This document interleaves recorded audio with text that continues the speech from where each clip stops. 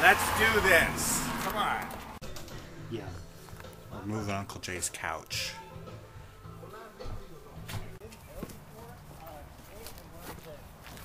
The cushion guy.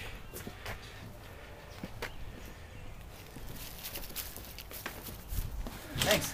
You and Uncle Jay's got All right. five cushions. Comfort. And any cushions for me? Not a single cushion for me. Oh well. Jay's new place, right? Mm-hmm. And it's actually sandwiched in here between these two other apartment buildings. I never would have known that this exists. So, how did you find this? I I heard about it through word of mouth with a young couple that manages three places around here in the Whitaker neighborhood. It's a really nice little oasis. Let's go check it out.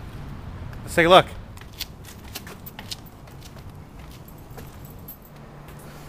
Uncle Jay's got a tropical view. It's like we're in the islands.